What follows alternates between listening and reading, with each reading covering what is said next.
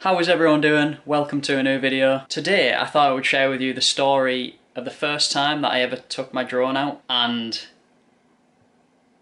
what happened on that first flight. Hello, hello again. Shabba-dabba, weekend alright could be a dream.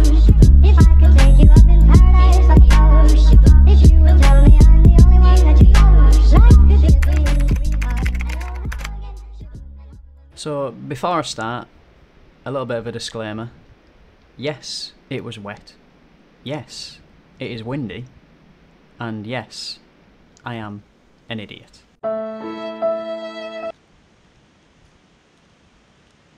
So, off I go.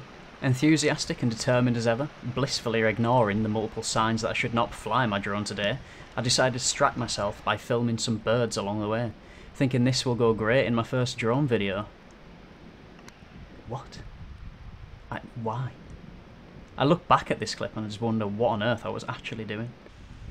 Feeling content with the happiness of the birds, and the fact that I'd lost the feeling in my fingers because I'd stood there filming the birds for the past 15 minutes, I decided to press on, head towards the waterfall, and just get the drone out and see what I could do. Oh yeah, and in this clip I decided to film myself going both ways. I didn't think I'd ever use that shot, but here we are. Fed up of walking backwards and forwards, I decided to beeline it straight for the waterfall and make my way down the steep stairs that were just off to my right hand side of this shot that you're looking at right now. Yes, this waterfall is very fierce today. Again, echoing why I shouldn't fly my drone, especially not close to the waterfall. But no, listen do I not. So here I come, just to the left of this shot, walking down the stairs, flying my drone for some reason. I have no idea why I didn't just get it out the bottom, but whatever, I guess that's what I decided to do. Uh, I'll make my way over to where the, this point of view you are looking at, it is, my GoPro is resting on a bridge. I make my way over to my GoPro and I, and I stand adjacent to it and you're about to see the view of the drone. So I'm just going to let this play out and then I guess try and explain what on earth was going through my head. So enjoy.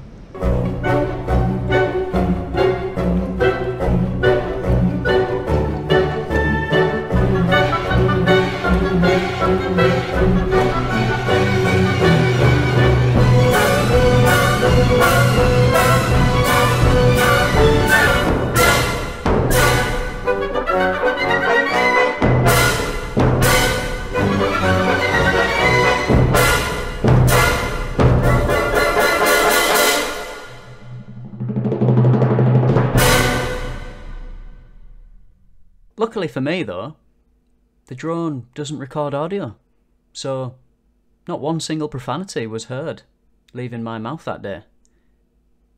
Although the birds might disagree.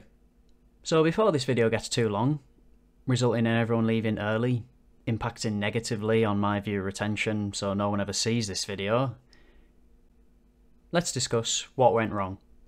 So at the top of the ravine, before I came down the stairs, I had full GPS lock, but by the time I made it to the bottom of the stairs, the drone had gone into what is called aggressive flight mode, which is essentially fully manual flying in a tiny 249 gram drone. So the very slightest wind pushes it in a direction and the drone will continue to go in that direction. Wind wasn't too much of a problem surprisingly, but the force of the waterfall generated wind higher up than I was, which I didn't actually realise at the time. That's when you can see the moment where the trees appear in the lens, and then from that point forward, It was at this moment that he knew. He fucked up. it hit a branch, it got caught.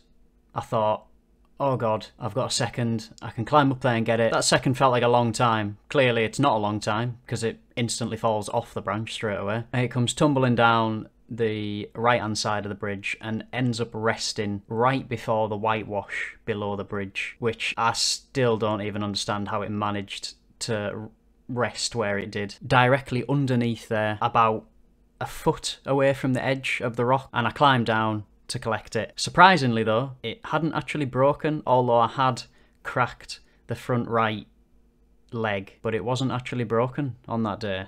I managed to superglue it, and it and it had done another 50 hours of flying after that. It was actually another event that broke the drone, but that's for another video.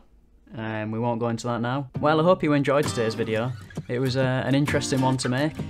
I uh, I'm glad I kept that footage. I did contemplate deleting it for it never to see the surface ever again, but here we are.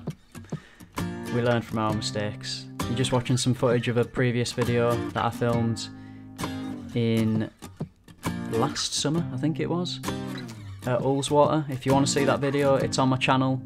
Um, be sure to leave this video a like if you enjoyed it um, and comment if you've got any drone crash stories or if you are new to this channel from this video please let me know down below because I really enjoy finding out where you're all from and where the channel is picking up new viewers from. Happy New Year to everyone and I'll see you in the next one.